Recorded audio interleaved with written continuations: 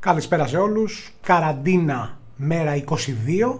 Έχουμε λαλήσεις στο σπίτι. Okay, οπότε είπα να σας κάνω ένα πολύ ωραίο βίντεο. Ε, κομωτής αντιδράσει DIY. Η Δέλερα Σάζα, Άκα Ζαχαρούλα, η οποία είναι ένα εκπληκτικό κορίτσι το οποίο είναι παθιασμένη σεφ, ασχολείται με τη μαγειρική.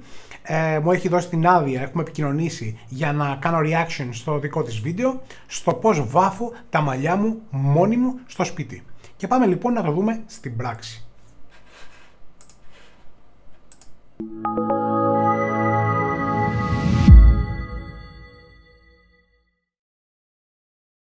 Λοιπόν, είμαστε έτοιμοι. Ε, θέλω να πω ότι δίνει κάποιες συμβουλές οι οποίες είναι σωστές. Θα διακόπτω το βίντεο as usual για να σας ε, ε, κάνω επισήμανση σε αυτά τα οποία εγώ θεωρώ σωστά ή λάθος. Ωραία. Τώρα είναι μια περίοδος όπου πολλές γυναίκες θα επιχειρήσουν να βάψουν τα μαλλιά τους μόνες τους στο σπίτι, οπότε μπορείτε να πάρετε κάποια tips. Από την άλλη, στους κομμωτές οι οποίοι μπορούν να παρακολουθήσουν το συγκεκριμένο βίντεο, θέλω να πω και να περάσω το μήνυμα ότι σταθείτε στους ανθρώπους που σας εμπιστεύονται όλα αυτά τα χρόνια, βοηθήστε τους να ξεπεράσουν αυτή την κρίση μαζί σας, με αγάπη, ωραία, και βοηθήστε τους να παραμείνουν όμορφοι και υγιείς και χαρούμενοι αυτή την περίοδο. Οπότε μοιραστείτε τις δικές σας σύμβουλες για να βοηθήσετε τη δική σας πελάτησα, τη γυναίκα που σας εμπιστεύεται όλα αυτά τα χρόνια, να αισθάνεται όμορφη και αυτή την περίοδο της καραντίνας. Λοιπόν, πάμε, ξεκινάμε.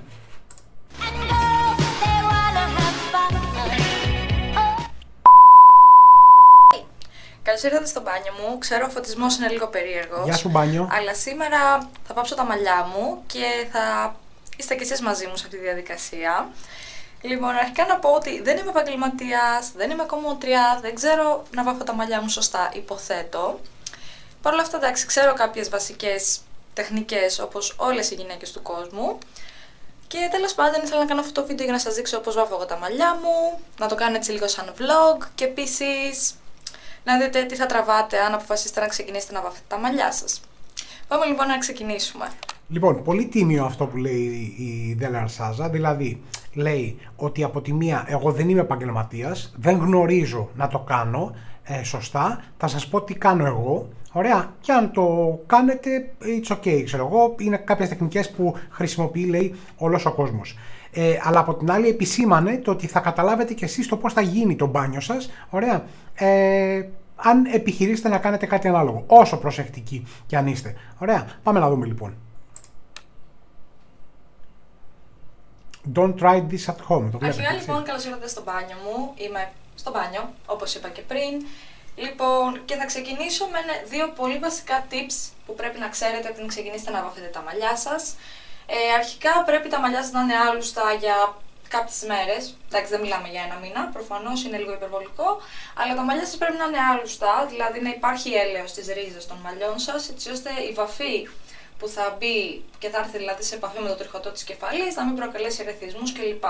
Να υπάρχει λιπαρότητα εννοεί. Δηλαδή, καλό θα είναι να μην πάμε ενώ είμαστε φρεσκολουσμένοι να περάσουμε μια βαφή, γιατί αυτό μπορεί να είναι πιο ευερέστητο ουσιαστικά για το τριχωτό μας, αλλά να χρησιμοποιήσουμε κάτι το οποίο να είναι ε, σαν προστατευτικό φιλμ για το δέρμα μας, γιατί άλλες γυναίκες έχουν μια επιδερμίδα η οποία είναι πιο ευαίσθητη και άλλες γυναίκες έχουν μια επιδερμίδα η οποία είναι πιο σκληροτράχυλη, πιο ανθεκτική, να το πω έτσι. Οπότε η λιπαρότητα θα μπορέσει να δημιουργήσει ένα φιλμ προστασίας προς τα μαλλιά και προς το δέρμα και έχει απόλυτο δίκιο σε αυτό. Αυτό είναι ένα πολύ σημαντικό κομμάτι, γιατί γενικά η βαφή σε καθαρό κεφάλι τσούζει πάρα πολύ. Λοιπόν, και Επίσης... Σε αυτό παίζει ρόλο βέβαια και το τι οξυντάν, τι οξυδοτικό χρησιμοποιεί ο κάθε επαγγελματίας ή η κάθε κοπέλα μόνη της. Καλό θα ήταν πριν αποφασίσετε να βάψετε όλο σας το κεφάλι με μία βαφή, καλό θα ήταν να κάνετε την, το γνωστό τεστ αλλεργίας, γιατί γενικότερα είναι πάρα πολύ σημαντικό εφόσον και θέλεις να βάψεις τα μαλλιά σου, δεν υπάρχει λόγος να βγάλεις εξανθήματα και γενικότερα να να σε πιάσει φαγούρα ή οτιδήποτε. Οπότε, εγώ δεν είμαι αλλεργική γενικότερα, οπότε δεν το κάνω αυτό το βήμα.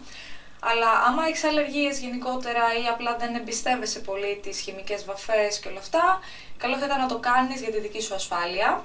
Και τέλος, ένα πάρα πολύ πολύ χρήσιμο αυτό το οποίο μοιράζεται και το λέω γιατί. Γιατί πολλές γυναίκες, ειδικά τώρα που στην καραντίνα μέρα 21-22 έχουμε χάσει τις μέρες, ε, που μπορεί να το επιχειρήσουν, καλό θα είναι να προστατευτούν ε, για να μπορέσουν να μπουν σε μια τέτοια διαδικασία ωραία, και να ξέρουν ότι ό,τι κάνουν με ασφάλεια. Για μένα βέβαια το Α και το Ω είναι για κάθε γυναίκα η οποία θα το επιχειρήσει τώρα που δεν μπορεί να έχει πρόσβαση στα κομμωτήρια Πρώτα, παιδιά, μιλήστε με τον κομμωτή σας. Δηλαδή, καλέστε τον κομμωτή σας, τον άνθρωπο που εμπιστεύεστε όλα αυτά τα χρόνια και ζητήστε τη δική του συμβουλή για τον τρόπο τον οποίο θα μπορέσετε να βάψετε τα μαλλιά σας μόνοι σας στο σπίτι. Ωραία επειδή είναι ένας άνθρωπος ο οποίος σας αγαπάει, σας στηρίζει, ομορφαίνει την εικόνα σας, σίγουρα θα είναι δίπλα σας και θα σας πει ακριβώς τον τρόπο τον οποίο θα πρέπει να χρησιμοποιήσετε τα προϊόντα τα οποία θα σας υποδείξει εκείνος για να έχετε το βέλτιστο δυνατό αποτέλεσμα. Ωραία. Αγάπη, παιδιά, και στην καραντίνα. Πάμε. Βασικό που θεωρώ εγώ ότι πρέπει να γίνεται, αν και πολλές από εμάς δεν το κάνουν και δεν ξέρω γιατί, Λοιπόν, είναι η βαζελίνη, όπου ουσιαστικά βάζεις βαζελίνη στο στεφάνι εδώ πέρα του κεφαλιού σου, στα αυτιά σου, πίσω εδώ πέρα, γιατί είναι πάρα πολύ σίγουρο ότι καθώς περνάς τη βαφή και εφόσον δεν είσαι επαγγελματίας όπως εγώ, είναι πολύ σίγουρο ότι απλά θα γίνεις χάλια γύρω-γύρω. Και επειδή οι βαφές είναι μόνιμες, δεν θέλεις να έχεις κόκκινο κεφάλι ή μαύρο κεφάλι ή μαύρα αυτιά ας πούμε. Τουλάχιστον εγώ δεν θέλω να έχω μαύρα αυτιά. Οπότε γενικότερα η βαζελίνη βοηθάει πάρα πολύ σε αυτό το πράγμα γιατί ουσιαστικά η βαφή κάθεται πάνω στη βαζελίνη και μετά ουσιαστικά ξεπλένεσαι και φεύγει όλη η βαφή μαζί με τη βαζελίνη. Οπότε η βαζελίνη είναι πάρα πολύ καλή. Είναι ένα, δηλαδή ένα βήμα που δεν πρέπει να το απορρίπτουμε. Λοιπόν, έχει απολύτω δίκιο σε αυτό το οποίο λέει. Η βαζελίνη μπορεί ουσιαστικά να κλείσει τους πόρους του δέρματος και έτσι να μειώσει τη διεισδυτικότητα της ε, βαφής πάνω στο δέρμα. Το θέμα είναι ότι αν όμως μια γυναίκα επιλέξει να χρησιμοποιήσει βαζελίνη και πάει και τοποθετήσει τη βαζελίνη σε, πάνω σε λευκά μαλλιά, επί παραδείγματι, ή πάνω στα μαλλιά της γενικότερα, εκεί ε, είναι πάρα πολύ, είναι βέβαιο ουσιαστικά ότι δεν πρόκειται να πιάσει βαφή. Οπότε όταν τοποθετείτε βαζελίνη να είστε πάρα πάρα πάρα πολύ προσεκτικοί. Και αυτό ισχύει και στους επαγγελματίες αλλά και στους καταναλωτές οι οποίοι μπορεί να θελήσουν να το κάνουν αυτό στο σπίτι.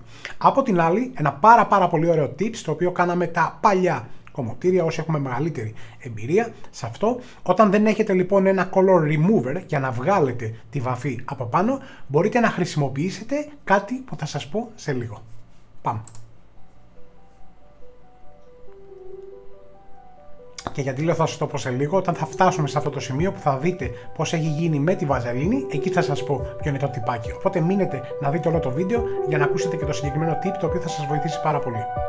Τώρα, ένα λάθος το οποίο ε, παρατηρώ εδώ ε, στη Velar είναι το εξής. Δεν κάνει χωρίσματα όπως ιδανικά θα έπρεπε να μπει σε αυτή τη διαδικασία για να διασφαλίσει ότι θα καλύψει τα μαλλιά της στο 100%. Ωραία. Για μένα λοιπόν θα έπρεπε να κάνει πιο έντονα χωρίσματα, θα έπρεπε να ε, χωρίζει τα μαλλιά της σε σταυρό, θα έπρεπε να χωρίζει σε τεταρτημόρια ουσιαστικά, δηλαδή υπό αυτή την λογική, ωραία, και να περνάει ένα-ένα τμήμα. Οπότε οι χωρίστρες θα έπρεπε να είναι πιο σωστές. Βέβαια εδώ δεν θα δούμε κάποιο πρόβλημα γιατί η Βέλαρ έχει μαλλιά τα οποία είναι σκούρα. Οπότε και απέραστο να είναι ένα σημείο επειδή το σκούρο έχει την ιδιότητα. Απλά κοιτάξτε λίγο. Πώς έχω γίνει. Έχει δίκιο. Έχει πασαληφθεί. Λοιπόν, επειδή λοιπόν. Οπότε παιδιά βαζελίνη. Απλά. OK, okay, και έχει βάλει και βαζελίνη, έτσι. Απλά λοιπόν επειδή το σκούρο έχει την ιδιότητα να κρύβει και να καλύπτει, εκεί δεν έχουμε θέμα. Σε μαλλιά όμως τα οποία είναι ξανθά και χρειάζονται πολύ ιδιαίτερο πέρασμα, OK, okay, χρειάζεται τελείως διαφορετική ε, μεταχείριση. Τώρα, αν δεν μπορείτε να το κάνετε μόνοι σας, απλά πείτε ακόμα και στο σύζυγο, στο παιδί, στη φίλη, στην αδελφή που μπορεί να είναι μέσα στο σπίτι να σας βοηθήσει με αυτή τη διαδικασία και μιλάω ειδικά για τώρα που είναι σε καραντίνα. Που είμαστε σε καραντίνα. Γιατί κάθε γυναίκα θέλει να αισθάνεται την περιποίηση, θέλει να αισθάνεται όμορφη. Τώρα η καλύτερη στιγμή της μέρας. Palm painting. Λοιπόν, Παίρνει λοιπόν Palm painting. Α, εννοεί, εννοεί βάψιμο με την παλάμη, OK. Okay. Τη βάζεις στα μαλλιά σου. Και προσέξτε να δείτε άλλο ένα λάθος το οποίο κάνει τώρα. Παίρνει τη βαφή και τη βάζει συνολικά πάνω στα μαλλιά. Και αυτό είναι λάθος. Δηλαδή δεν θα μπορέσει να καλύψει στο 100% τα μαλλιά. Ωραία. Θα έπρεπε λοιπόν να χωρίζει τμηματικά τα μαλλιά και να με χωρίστρες να πηγαίνει και να εναποθέτει τη βαφή επάνω και με τα χέρια της να βοηθάει στο να έχει μεγαλύτερη διεισδυτικότητα σε αυτό το οποίο κάνει. Κάθε επαγγελματίας τώρα βλέπει και καταλαβαίνει ότι δεν είναι περασμένα όλα τα μαλλιά. OK. Okay.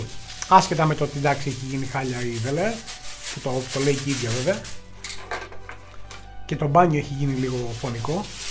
Πώς το καθαρίζεις μετά αυτό το μπάνιο, Εσείς πώς θα το καθαρίζετε, γράψτε μου λίγο στα σχόλια. Το έχετε επιχειρήσει ποτέ στο σπίτι, ή τώρα που είστε καραντίνα το έχετε επιχειρήσει, για γράψτε μου. Και τώρα θα περιμένουμε 40 λεπτά να δούμε το τελικό αποτέλεσμα. Λες και έσφαξα. Δεν ξέρω εγώ τι αλήθεια.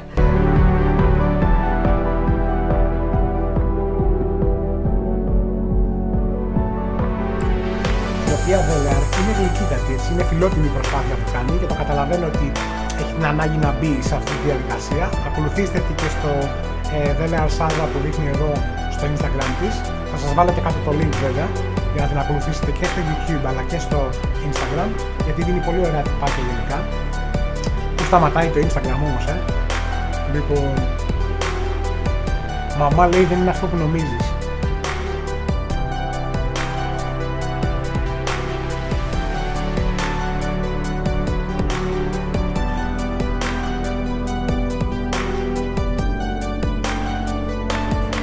Βλέπετε τώρα πώς χάνουμε τις στιγμές και αυτό που δημιουργούμε εμείς μέσα στο κομμωτήριο, ε. Και κάπως έτσι είναι λοιπόν, αφού τα έλουσα, νομίζω το χρώμα είναι πάρα πολύ ωραίο. Και από ό,τι βλέπετε δεν έχω καθόλου λεκκέδες στο πρόσωπο, mm-hmm. χάρη στη βαζελίνη. Mm-hmm. Επίσης έβαψα και λίγο τα φρύδια μου, δεν ξέρω αν φαίνονται πιο μαύρα. Αλλά ναι, το χρώμα είναι πολύ ωραίο. Είναι ένα πολύ ωραίο ψυχρό, τα χίλια μου είναι χάλια ένα πάρα πολύ ωραίο ψυχρό μαύρο μπλε. Μου αρέσει πάρα πολύ το χρώμα. Λοιπόν, Βέλεαρ, ε, να πω το εξής. Ε, θεωρώ ότι αυτό που έχεις κάνει είναι ωραίο, είναι αξιοπρεπές βασικά, okay. Ε, είδαμε τη δυσκολία που έχεις στο να βάφεις ε, τα μαλλιά σου μόνοι στο σπίτι. Ε, ιδανικά αυτό θα έπρεπε να γίνεται με χωρίσματα, όπως είπα προηγουμένως, δηλαδή να χωρίζεται ένα σταυρός Ωραία. Και τμηματικά να κατεβαίνουν τα μαλλιά, να τοποθετείτε πρώτα η βαφή στη ρίζα και μετά να περνιέται κατά μήκος ανατούφες για να μην γίνεται όλο αυτό το χάος από τη μία και να βοηθήσει στη διεισδυτικότητα της βαφή. Ωραία. Το tip το οποίο ήθελα να σας πω είναι το εξής, ότι αν όντως έχετε έντονα σημάδια από τη βαφή την οποία δεν μπορείτε να βγάλετε, εκεί απλά τα παλιά κομμωτήρια, αυτό το οποίο κάναμε, και αν δεν έχετε και κάποιο color remover για να βγάλετε το χρώμα από εκεί, παίρνετε στάχτη από το τσιγάρο, ναι, καλά με ακούσατε, στάχτη σε ένα βαμβάκι, βρέχετε, ρίχνετε λίγο νερό, το βρέχετε και αρχίζετε και καθαρίζετε τοπικά τα σημεία τα οποία έχει περάσει η βαφή.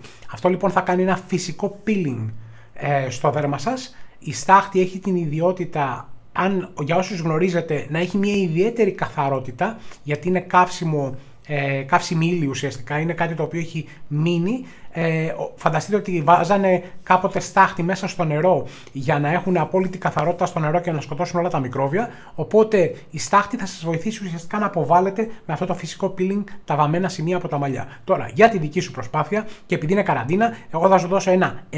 Θεωρώ ότι έκανες μια γενναία προσπάθεια, ότι ήταν ένα αξιοπρεπές αποτέλεσμα και μπορείς άνετα να κυκλοφορήσεις με αυτά τα μαλλιά.